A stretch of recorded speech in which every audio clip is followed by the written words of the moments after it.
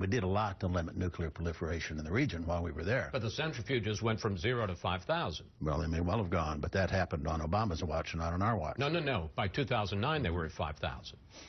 Right, but I, I think we did uh, a lot to deal with the uh, arms control problem. Middle East.